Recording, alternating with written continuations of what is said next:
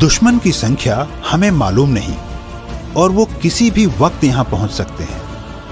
हम सिर्फ़ 120 हैं, हमारे गोला बारूद भी कम पड़ जाएँगे। पीछे से सहायता की भी कोई उम्मीद नहीं है, और शायद हम सब शहीद हो जाएँ। आप में से जिसे भी जाना है, वह जा सकता है। लेकिन मैं आखिरी सांस तक अपनी धरती माँ की रक्षा करूँगा। 1962 के भारत चीन युद्ध के दौरान यह प्रेरणा और जोश से सराबोर करने वाले कथन थे मेजर शैतान सिंह के, जो चीनी सैनिकों के लिए काल थे। उनके नेतृत्व में वीरता की मिसाल देते मात्र 120 सैनिकों ने चीन के लगभग 1300 सैनिकों को मौत के घाट उतार दिया। वह भी हथियारों से नहीं, बल्कि अपने हौसले से। एक दिसंबर 1924 को जोधपुर में जन्मे शैतान सिंह के खून में ही देशभक्ति थी, क्योंकि उनके पिता भी आर्मी अफसर थे। शिक्षा पूरी करने के बाद शैतान सिंह को आर्मी में देश की सेवा करने का मौका मिला। उनकी कार्यकुशलता से प्रभावित होकर जल्द ही उन्हें मेजर रैंक से नवाजा गया और फिर उनकी तैनाती कुमाऊं रेजिमेंट में भारत चीन सीमा से लगते लद्दाख में स्थित चुशूल घाटी के पास हुई।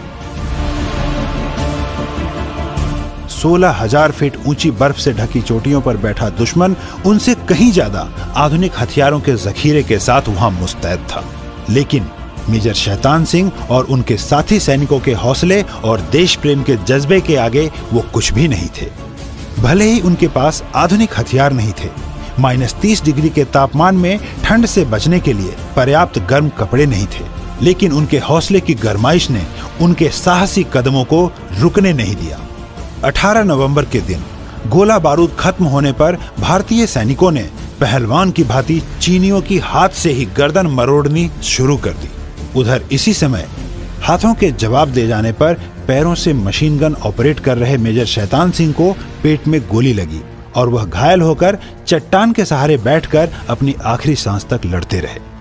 तीन माह बाद जब बर्फ़ पिघली और रेजांगला, जहाँ यह युद्ध लड़ा गया था, वहाँ की खबर जब भारतीय सेना को लगी तो टीम वहाँ पहुँची।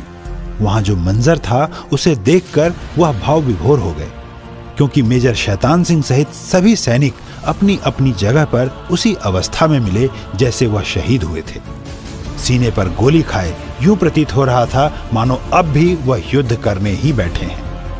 सलाम है ऐसे पराक्रम को, जिसने उनकी शौर्यता को जगाए रखा। शहादत के बाद भी उनके बलिदानी शरीर को बैठाए रखा। मरणोपरांत मेजर शैतान सिंह को परमवीर चक्र से नवाजा गया। आज समस्त आईएमसी परिवार, मेजर शैतान सिंह और उनके सभी वीर साथियों के अदम्य साहस को नतमस्तक होकर उन्हें भावभीनी श्रद्धांजलि अर्पित करता है। भारत माता की जय। वंदे मातरम। Good IMC. लोगों ने आईएमसी बिज़नेस पेज को सब्सक्राइब नहीं किया है, वो कृपया हमें सब्सक्राइब करें और सब्सक्राइब करने के बाद बेल आइकन पे क्लिक करें, जिससे आने वाली वीडियो की नोटिफिकेशन आपको सबसे पहले मिले।